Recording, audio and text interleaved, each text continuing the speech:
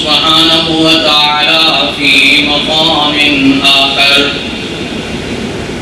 وما أمروا إلا ليعبدوا الله مخلصين له الدين. حنفاء ويقيموا الصلاة ويؤتوا الزكاة وذلك دين القيمة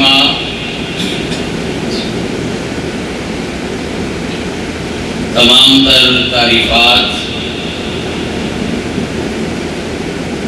کی بریائی، بڑائی اور عصمت کے لائق اللہ وحدہ لا شریک کی ذات بابرکات ہے، جس اللہ کے بارے میں ہمارا یہ ایمان اور عقیدہ ہے اور ہونا چاہیے۔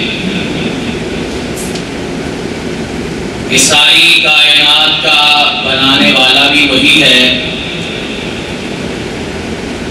اس کائنات کے نظام کو چلانے والا بھی وہی اکیلا رب ہے اور اس کائنات کے نظام کو اس کے تک لے جانے والا بھی وہی اکیلا ہے، اس کے سوا کوئی دوسرا نہیں۔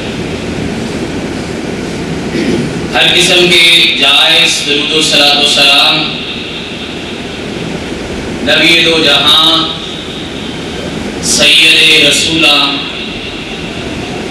نبی نبیاں، جناب محمد الرسول اللہ صلی اللہ علیہ وعلا آلہ واصحابہ وآل بیتہ اجمعین وسلم کی پاک پاکیزہ مقدس، مطاہر اور مبارک ذات گرامی کے لیے۔ انسان کی فطرت اور کوشش یہ ہوتی ہے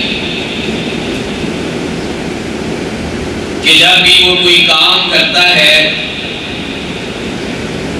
تو اس پہ آفرین، شاباش اور خراج تحسین کا طلبگار بھی رہتا ہے۔ کام پہ لوگ اس کی تعریف کریں، اس کو اچھا سمجھیں، اس کی شان کو بیان کریں اور اس کی حوصلہ افزائی کریں۔ اس میں کوئی شک نہیں کہ یہ انسانی فطرت ہے۔ لیکن دین اسلام نے انسانوں کے اعمال میں نکھار پیدا کرنے کے لیے اور دنیاوی معاملات کو زیادہ بہتر کرنے کے لیے یہ بات سمجھائی اور سکھائی ہے۔ کہ آپ یہ ساری کی ساری چیزیں اپنے اللہ سے طلب کریں اور دنیا کے لوگوں سے اس کے طلبگار نہ بنیں۔ یعنی کوئی بھی کام کرتے وقت آپ کی نیت اور ارادہ یہ ہونا چاہیے کہ اس کے بدلے میں میرا اللہ مجھ سے راضی ہو جائے، میرا مالک مجھ سے خوش ہو جائے۔ اور اس کا بہتر بدلہ وہ دنیا اور آخرت میں مجھے ادا کرے۔ دین اسلام کی اصطلاح میں اس سارے کے سارے عمل کو اصلاح نیت کہا جاتا ہے۔ اور یہ آپ ہم سب جانتے ہیں کہ دین کے معاملات میں نیت کی اصلاح سب سے پہلا درجہ ہے۔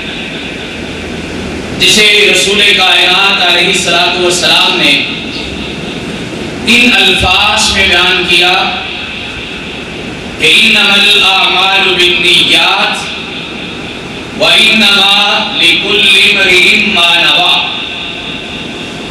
اعمال کا دار میدان، اعمال کا انحصار یہ انسان کی نیت پر ہے۔ اور کسی بھی شخص کے لیے وہی بدلہ، وہی جزا، وہی انعام اسے ملے گا کہ جس قسم کی اس کی نیت ہوگی۔ یعنی عمل کا ظاہری درست ہونا بھی ضروری ہے۔ لیکن اس کے ساتھ ساتھ اس کی نیت کا بہتر ہونا یہ بنیادی بات ہے۔ اور یہ بھی یاد رکھیں، قیامت کے دن انسانوں کے ظاہری اعمال کا وزن نہیں ہوگا، بلکہ ان اعمال کے پیچھے جو اس کا جذبہ، جو اس کی نیت، جو اس کا ارادہ ہے، اس کا جو ہے وہ وزن کیا جائے گا۔ اور اس کے مطابق اس کے وزن بڑھیں گے بھی اور اس کا وزن کم بھی ہو جائے گا۔ اور یہ بات بھی ذہن میں رکھیں کہ اسلام اتنا خوبصورت مذہب ہے کہ اگر آپ اچھے ارادے کے ساتھ، اچھی نیت کے ساتھ دنیا کا کوئی کام بھی کرتے ہیں، لیکن اس میں آپ کی نیت درست ہے، تو وہ آپ کے لیے آخرت میں بھی خیر اور ثواب کا باعث بنے گا۔ اللہ کے پیغمبر علیہ السلام کے ایک صحابی، حضرت ابن عجرہ رضی اللہ تعالی عنہ، فرماتے میں نے ایک دن ایک شخص کو دیکھا صحابی کو۔ وہ تیزی سے میرے پاس سے گزرا اور اس کے ہاتھ میں کسی پکڑی ہوئی تھی۔ یہ جس کے ساتھ زمین کو کھودا جاتا ہے۔ ظاہر یہ ہو رہا تھا کہ وہ اپنے کھیتوں میں جا رہا ہے کاشتکاری کے لیے جب میں نے اس کو دیکھا تو کہا، یا فی سبیل اللہ کاش یہ بندہ کوئی ہتھیار اٹھا کے اللہ کے راستے میں جاتا۔ یہ اس نے ہتھیار پکڑا ہے اور اپنی دنیا کے پیچھے جا رہا ہے۔ یا فی سبیل اللہ کاش یہ اللہ کے راستے میں نکلتا اس طرح تیزی سے ہتھیار لے کے۔ اللہ کے پیغمبر علیہ السلام نے جب یہ وہی بات سنی تو فرمایا نہ میرے صحابی۔ اگر یہ بندہ اپنی محنت مزدوری کرنے جا رہا ہے اس نیت سے کہ یہ اپنے بوڑھے والدین کے لیے حلال روٹی کا انتظام کرے، فرمائے لکان فی سبیل اللہ تو یہ اللہ کے راستے میں جا رہا ہے۔ اگر یہ اس نیت سے جا رہا ہے کہ اپنے بچوں اور اپنی بیوی کا پیٹ پالے گا لکان فی سبیل اللہ یہ اللہ کے راستے میں جا رہا ہے۔ اگر یہ اس نیت سے جا رہا ہے کہ یہ اسے حلال روٹی کما کے اپنا پیٹ پالے گا لگان فی سبیل اللہ تو پھر یہ دنیا کا کام نہیں کرنے جا رہا، بلکہ یہ اللہ کے راستے میں جا رہا ہے۔ اور اللہ اس کے بدلے میں اس کو بہتر بدلا بھی عطا فرمائے۔ فرق کس چیز کا بڑا ہے؟ ایک ایسی چیز کا کہ جس کے لیے آپ کو کوئی ایکسٹرا محنت نہیں کرنی پڑتی۔ ایک ایسی چیز کے جس کے لیے آپ کا کوئی زیادہ خرچہ نہیں ہوتا۔ ایک ایسی چیز کا فرق ہے جس کے لیے آپ کو کوئی لمبا چوڑا پروسیجر نہیں طے کرنا پڑتا، صرف نیت کا قبلہ درست کر لو۔ اور نیت کا قبلہ درست کر کے اگر اللہ کے راستے میں آپ جاتے ہیں آپ دنیا کا بھی کوئی کام کرتے ہیں، تو اسے اللہ کے راستے میں شمار کیا جاتا ہے۔ بلکہ حضرت سعد ابن ابی وقاص رضی اللہ تعالیٰ عنہ سے اللہ کے پیغمبر نے یہ بھی کہا تھا اِنَّ قَلَن تُنْفِقَ نفقتن تبتغی بها وجه اللہ الا اجبت علیہا حتی ما تجعل فی فم امراتی حضرت امام بخاری رحمت اللہ علیہ نے اس روایت کو نقل کیا ہے۔ اللہ کے پیغمبر نے سعد ابن ابی وقاص سے کہا تھا، کوئی ایک لکمہ کوئی ایک ٹکڑا جو تم خرچ کرتے ہو اور اس سے تمہاری مقصود اور نیت یہ ہوتی ہے کہ اللہ راضی ہو جائے، تو اس کا بھی تمہیں اجر ادا کیا جاتا ہے حتیٰ کہ ما تجعل فی فم امراتے اس اللہ کو راضی کرنے کے لیے محنت مزدوری کے کمائے ہوئے حلال ٹکڑے جو تم اپنی بیوی کے منہ میں ڈالتے ہو، وہ بھی اللہ کے راستے میں ثواب لکھا جاتا ہے اور اس کا بھی بہتر بدلہ تمہیں قیامت کے دن آگاہ کیا جائے۔ نیت کا معاملہ کتنا زبردست ہے، آپ اس چیز سے اندازہ لگائیے۔ صرف آپ نے اپنے خیالات کو بدلا۔ اور اس سے فرق کیا پڑا؟ اللہ کے پیغمبر علیہ السلاۃ والسلام فرماتے ہیں، ایک شخص رات کو سوتا ہے اور نیت یہ ہے کہ میں صبح بیدار ہو کے فجر کی نماز سے پہلے نماز تحجد پڑھوں گا۔ لیکن نیند کا غلبہ ہوا اور وہ بیدار نہیں ہو سکا۔ نہیں جاگ سکا۔ نیت اس کی تھی کہ میں نماز تحجد پڑھوں گا، لیکن جاگ نہیں سکا۔ اللہ کے پیغمبر علیہ السلاط والسلام فرماتے ہیں، خودی والا ہو مانوا جو اس نے نیت اس کا بدلہ اس کے کھاتے میں درج کر دیا جاتا ہے، اس کا ثواب اس کو دے دیا جاتا ہے۔ وہ نو لہو صدقہ اور اس کی جو نیند ہے، وہ اس کے لیے اضافی فائدے کے طور پر اور صدقے کے طور پر شمار کی جاتی ہے۔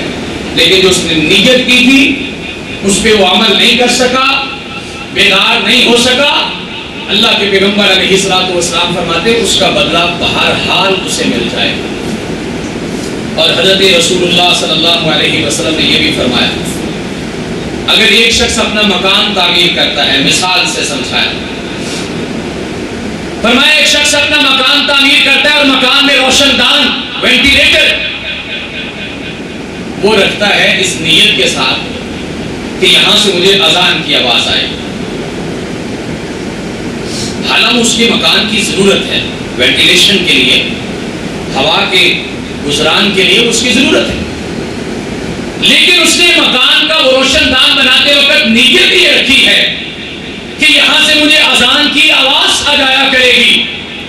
اللہ کے پیغمبر علیہ السلاط والسلام فرماتے ہیں، اس کو اذان کی آواز آنے کی نیت کی وجہ سے آپ کو مل ہی جائے گا اور اس کی دنیاوی ضرورت بھی پوری ہوتی جائے گی۔ لیکن صرف نیت کی وجہ سے اس کا یہ عمل ساری زندگی کے لیے اس کے لیے کار خیر بن جاتا ہے۔ نیت سے کیا فرق پڑتا ہے؟ اللہ کے پیغمبر علیہ السلاط والسلام غزوہ تبوک کے لیے اعلان کرتے ہیں۔ اور یہ غزوہ تبوک جو ہے، یہ مسلمانوں کے لیے بڑا کٹھن وقت تھا۔ بڑے مشکل حالات کا وقت تھا۔ اللہ کے پیغمبر علیہ والسلام اعلان فرماتے ہیں لوگوں کے لیے جانا بھی بڑا مسئلہ تھا، فصلیں تیار کھڑی تھی لیکن صحابہ اکرام کا جذبہ بڑے عروج پر تھا۔ یہی وہ غزوہ ہے کہ جس میں سیدنا فاروق اعظم رضی اللہ تعالیٰ نے فرماتے، میں نے نیت کی۔ ہر کام میں ابو بکر صدیق رضی اللہ تعالیٰ آگے بڑھ جاتے، آج میں نے انہیں آگے نہیں بڑھنے دینا۔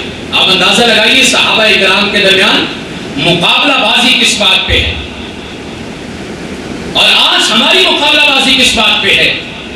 آج میری مقابلہ بازی اپنے ہمسائے سے مکان اونچا کرنے میں، آج میری مقابلہ بازی اپنے پڑوس سے دکان بہتر کرنے میں، آج میری مقابلہ بازی اپنے ساتھ والے کسان سے زیادہ زمین کمانے میں، آج میری مقابلہ بازی دنیا والوں سے، دنیا کے معاملے میں آگے بڑھنے سے۔ لیکن صحابہ کرام کے درمیان مقابلہ بازی کیا ہے؟ وہی مقابلہ بازی جسے قرآن کہتا ہے، سارعو الى مغفرت من ربکم. آؤ، بھاگو، مقابلہ کرو، آگے بڑھو ایک دوسرے سے۔ اور وہ دین کے معاملے میں، خیر کے معاملے میں، نیکی کے معاملے میں ایک دوسرے کے ساتھ کمپٹیشن کرو۔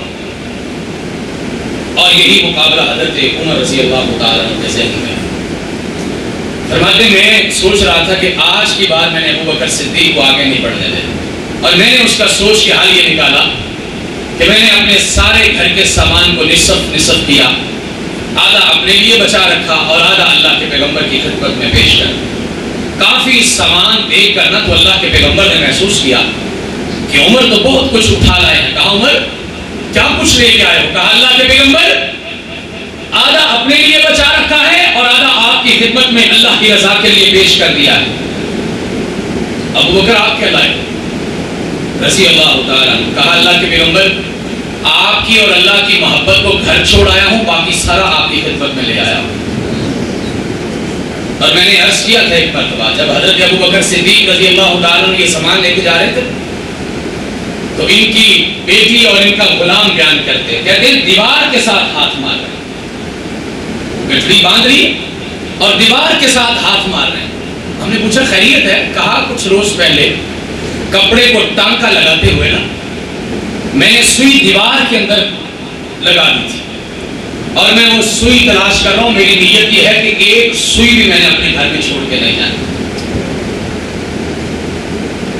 اللہ اکبر کبیرہ، میں تو کہتا ہوں، یہ واقعات بیان ہی کیے جا سکتے ہیں اور اس پہ ساری دھنا جا سکتا ہے۔ آج کے زمانے میں ہم دولت کے پجاریوں سے اس کا تصور نہیں ہو سکتا۔ اس کا تصور نہیں ہوتا۔ ایسے تو نہیں اللہ کے پیغمبر نے پھر کہا تھا، اللہ، میں نے اس کائنات میں بسنے والے ہر انسان کے احسان کا بدلہ چکا دیا ہے۔ لیکن ابو بکر صدیق کے احسانات کا بدلہ تو حضرت اللہ کے پیغمبر فرماتے، میں بھی نہیں چکا سکا۔ یہ قیامت کے دن تو جانے اور ابو بکر صدیق جانے۔ یہ درجے ایسے نہیں ملتے۔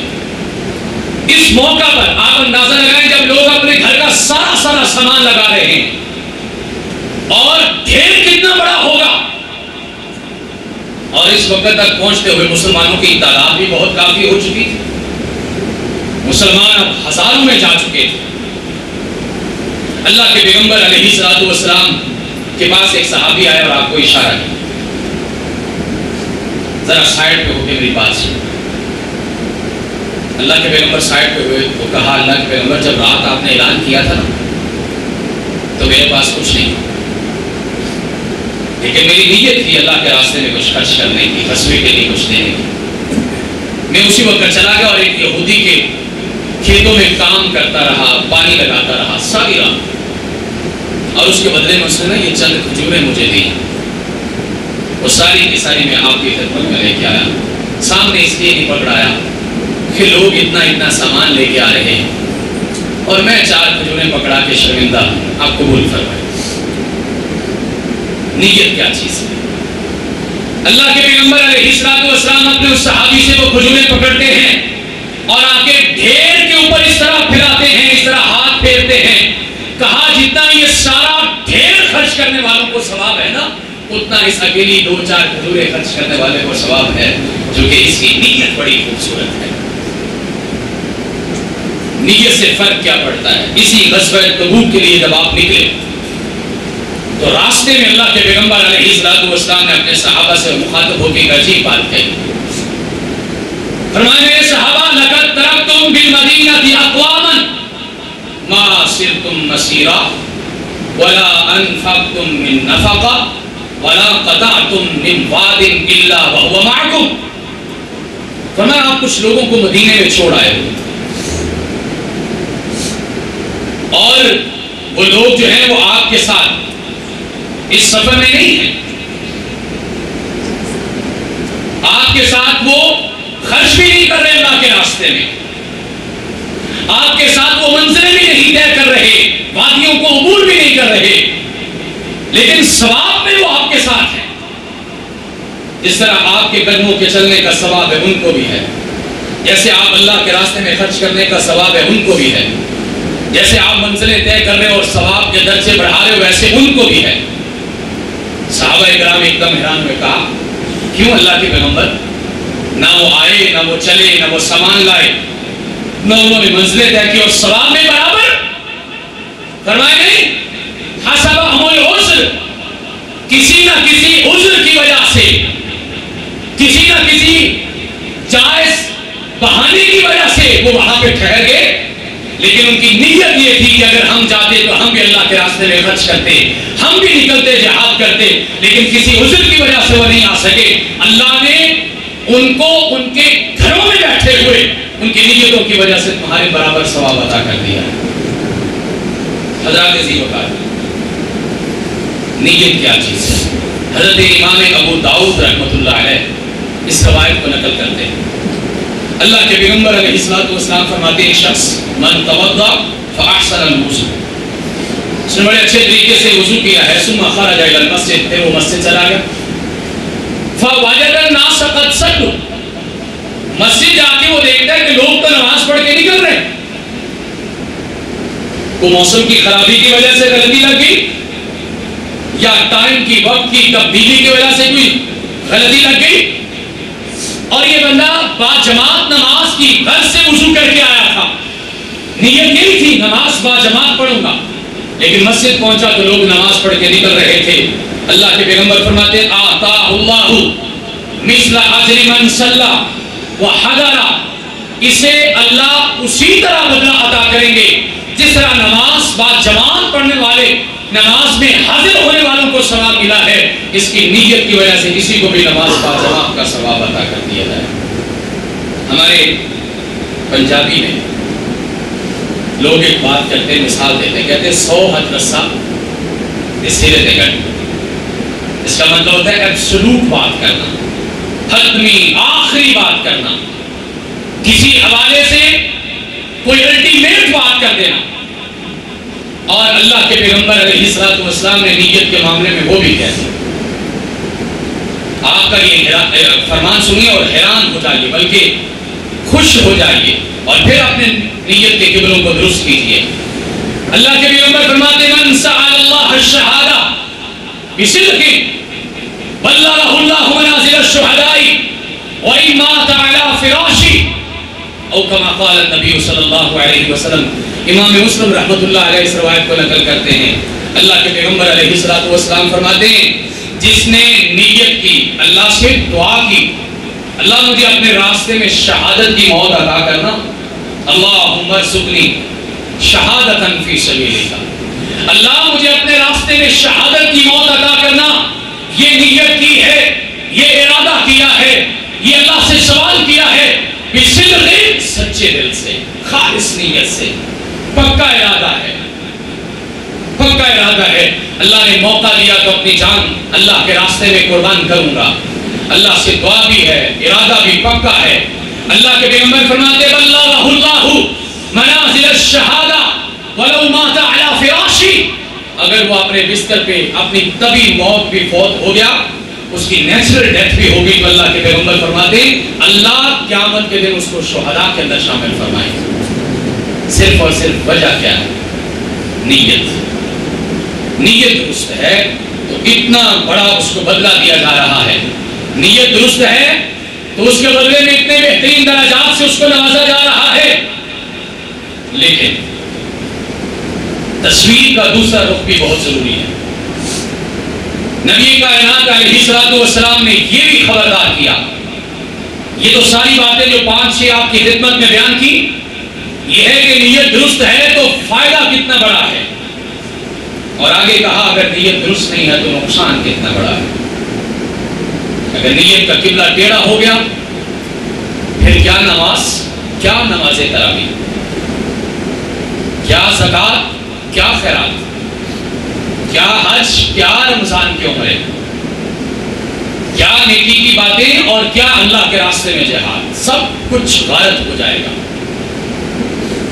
کائنات کے امام فرماتے ہیں، اپنے صحابہ سے، میرے صحابہ، اللہ سے دعا کیا کرو اور جب الحسن سے پناہ مانگا کرو۔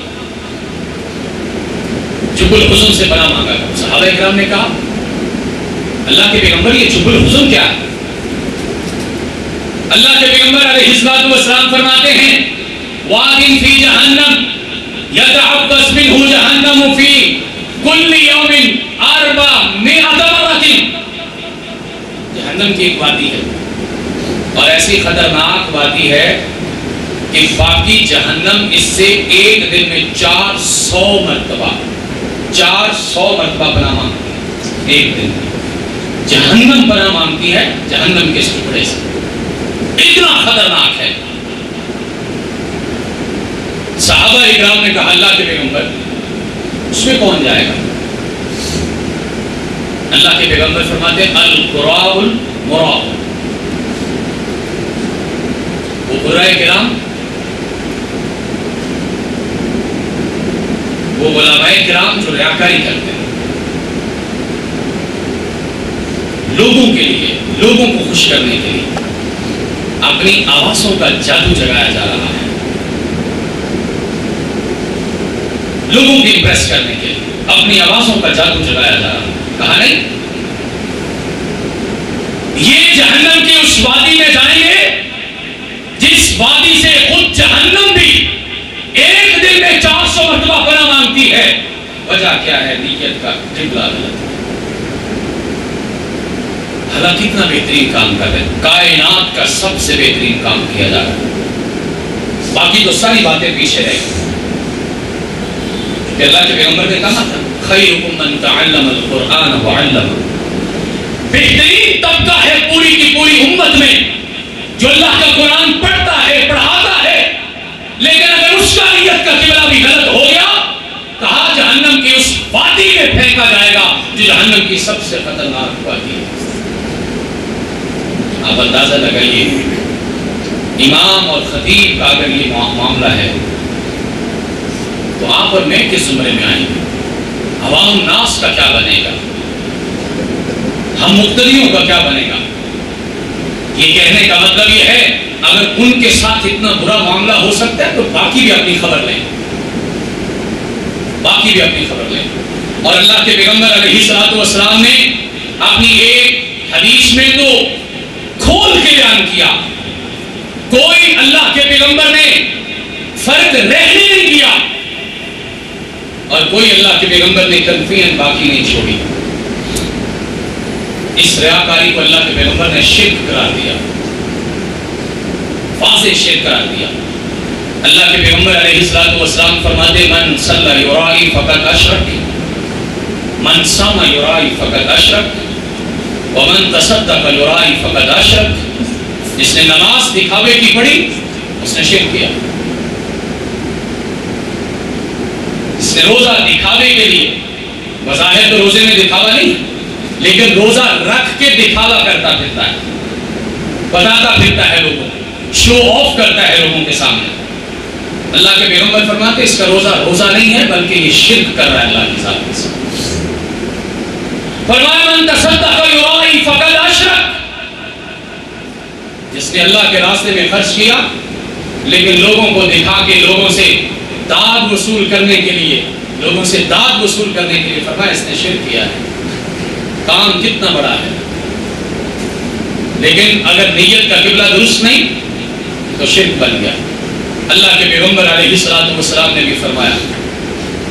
فرمایا، کیا میں تمہیں ایسی چیز سے خبردار نہ کروں جس کے بارے میں مجھے اپنی امت سے بہت بڑا خطرہ ہے؟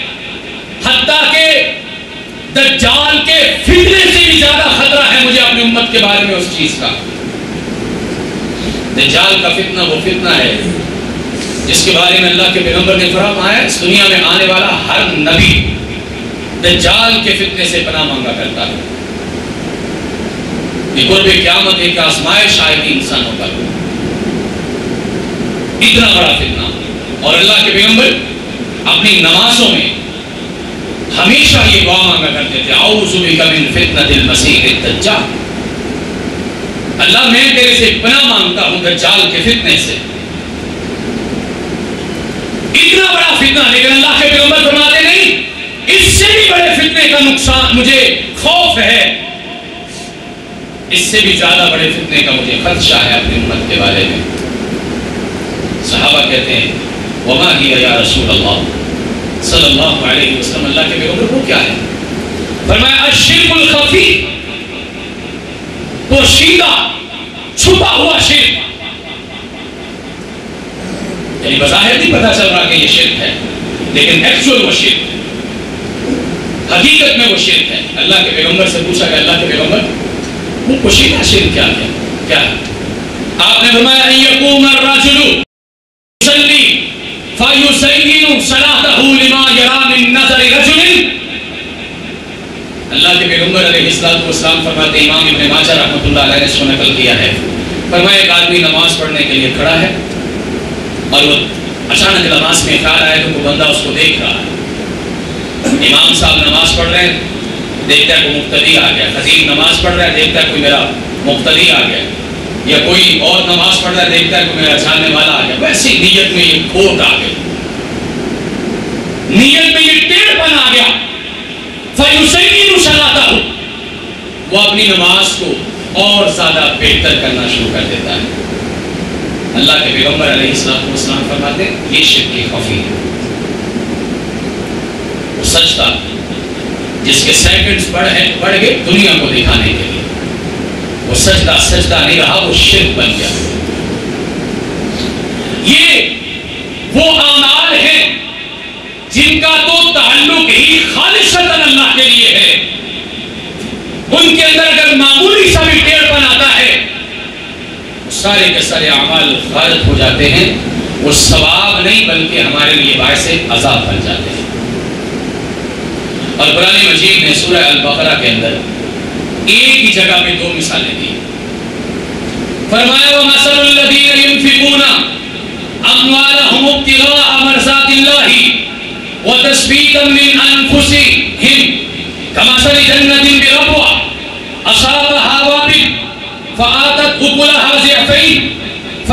يُصِبْهَا وَابِلٌ فَطَلٌ واللہ بما تعملون بَصِيرٌ. یہ ان لوگوں کی مثال ہے جو اللہ کو راضی کرنے کے لیے اللہ کے راستے میں خرچ کرتے ہیں. لیکن ان سے پہلے کیا کہا؟ فرمایا ایوہ الذین آمنوا، لا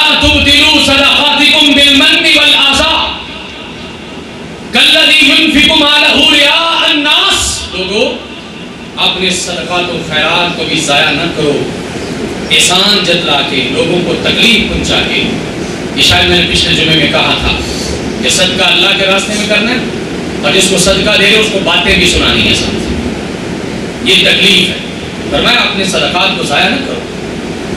آپ نے قرآن کہتے ہیں کلذی یہ اس شخص کی طرح ہے ينفق مالہ رعاء الناس جو لوگوں کو دکھانے کے لیے مال خرچ کرتا ہے۔